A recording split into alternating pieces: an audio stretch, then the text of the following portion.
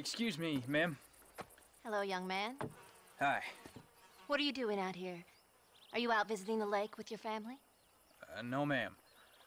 I was looking to deliver a letter to Edgar Ross. That husband of mine. That bureau just won't get its talons out of him, even though he's retired. Edgar gave them some of the best years of his life. They ought to let him retire in peace. They'll not rest till they've killed him with worry, and he's such a sensitive man.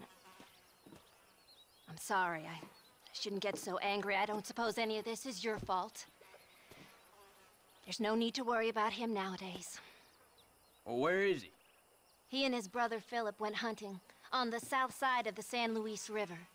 Be careful crossing over. They were saying it was dangerous. I sure will, ma'am. And don't worry about a thing. I'm sure your husband will be just fine.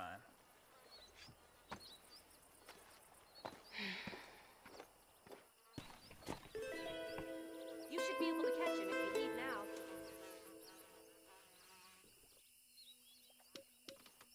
Is there something else I can do for you?